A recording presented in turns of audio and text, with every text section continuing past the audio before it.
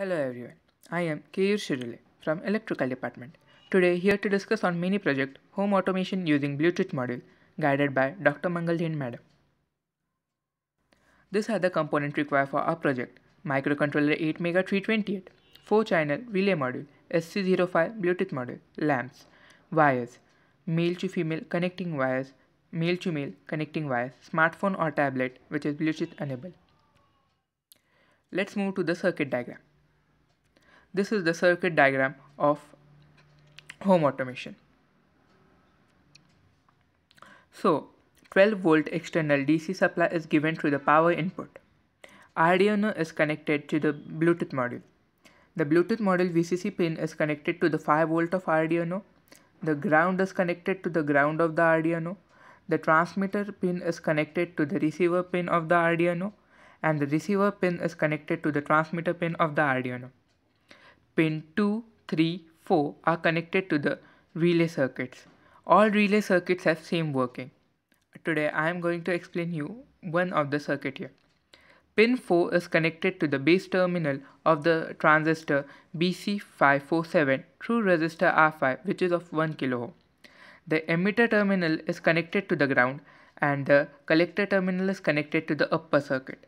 Upper circuit consists of coil, LED, resistor, diode and these three uh, this all are connected in parallel.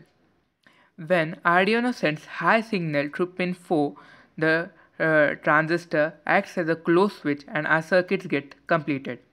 This magnetize our coil uh, and this indication is given by LED.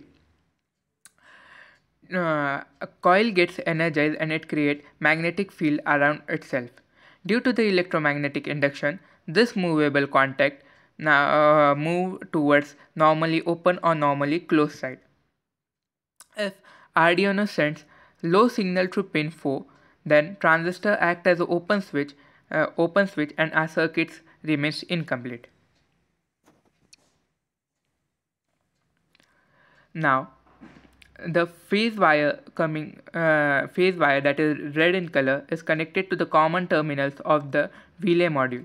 And from uh, another terminal uh, wire is taken out and connected to the terminal of the bulb. Another terminal from the bulb is connected directly to the neutral. Let's watch it working now.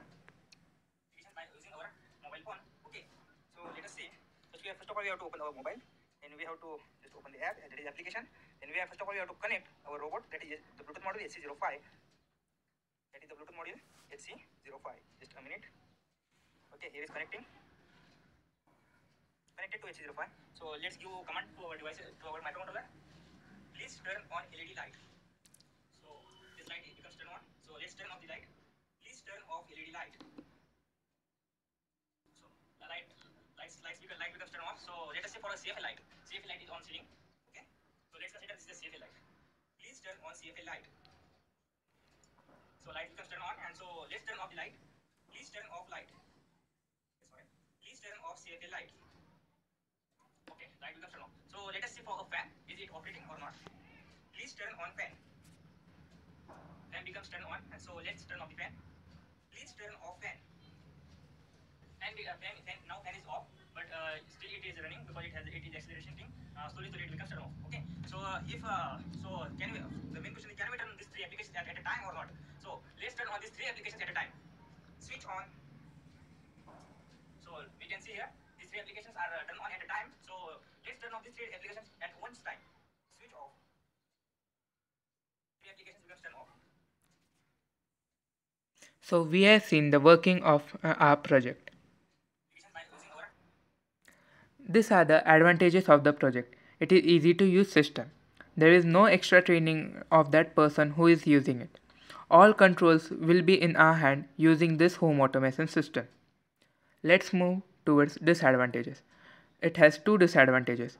Bluetooth is used in this home automation which has range of only 10 to 20 meters. Beyond that range we can't control uh, we can't achieve our control the new user wants to connect first need to uh, download that application or software and configuration must be done with the bluetooth.